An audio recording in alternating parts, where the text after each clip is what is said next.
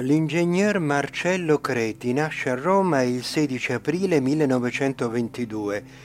Sin da bambino cade in stato di trance, dettando formule scritti che si concretizzarono poi in oltre 130 brevetti nel campo dell'elettronica, medicina, chimica, elettrotecnica, meccanica ed ingegneria. Tra questi ricordiamo Tappo a Corona 1929, Telefono Viva Voce 1934, Radiotelefono 1934, Lancia Missili Bellici 1942, Cambia dischi jukebox 1943, Macchinario elettroshock 1945, Luce alogena telefono cellulare.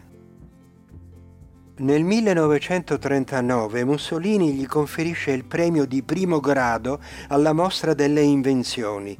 Nel 1947, a soli 25 anni, viene nominato Croce d'Oro Lateranense per la cattedra di fisica.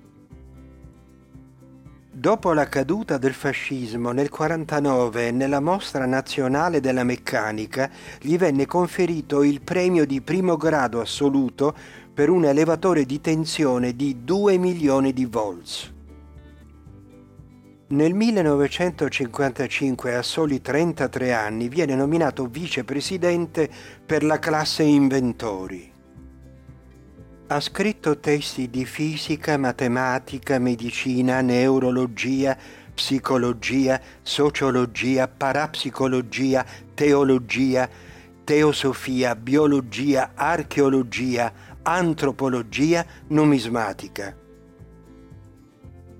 Leader di una corrente di pensiero realista denominata corrente ergoniana, dalla sigla Ergos, energia radiante, governante ogni scienza. L'apparato ottico degli Antalidei. Essi sapevano di poter perfezionare il loro corpo, ma tale possibilità la utilizzarono solo limitatamente. All'apparato ottico diedero primaria importanza, infatti per essi i sensi erano essenziali per l'accaparramento dei cogniti e quindi dell'evoluzione soggettiva. Con il tempo i loro occhi furono muniti di tre palpebre indipendentemente sollevabili.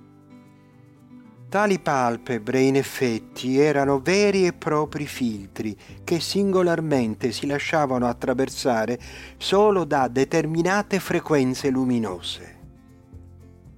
Per cui se tutti e tre gli schermi o palpebre erano abbassate, l'antalideo poteva guardare il pianeta Sole senza esserne danneggiato o disturbato, in quanto la zona centrale dei tre schermi tagliava tutti i raggi violetti, ultravioletti e ultra-ultravioletti, composti da fotoni da massa 1 a massa 4, vedi i cosmitron, inoltre tagliava tutte le frequenze dei raggi infrarossi da massa 7 sino a massa 10.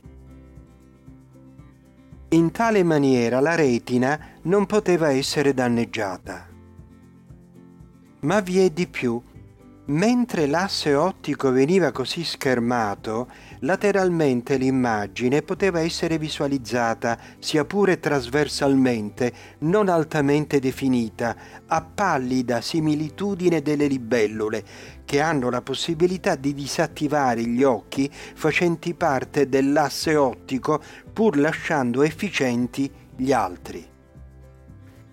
L'antalideo poteva così vedere anche contro sole. Se poi la luminosità era ridotta, sollevava la seconda palpebra, riuscendo a vedere in piena luce anche al buio, rilevando i fotoni massa 8, 10 riflessi. È noto che la possibilità che noi abbiamo di poter vedere gli oggetti illuminati in mezzo a cui viviamo è dovuta alle radiazioni luminose respinte dall'oggetto in esame. Ora la nostra retina riesce ad essere sollecitata e quindi vedere solo da fasci luminosi caratterizzati da ritmi di frequenze comprese tra il viola e il rosso. Tutti gli altri fasci luminosi che sono caratterizzati da frequenze che vanno oltre il violetto a salire o oltre il rosso a scendere non sono visive dall'occhio dell'uomo attuale. Ciò però non significa che gli oggetti corporei non respingono tutti i raggi da cui sono colpiti. La retina del discendente dell'Australopiteco, ossia noi, non oscilla a frequenze luminose molto alte né a frequenze luminose molto basse, mentre quelle degli Antalidei oscillavano, se sollecitate, anche da raggi luminosi non visibili dall'Homo stercus. A questo punto però accadeva che i grossi fasci di radiazioni luminose a frequenza media, che costituivano la preponderanza delle radiazioni riflesse, si imponevano. In tal caso veniva annullata la possibilità di definire le radiazioni minori. Ecco perché la necessità dei tre filtri o palpebre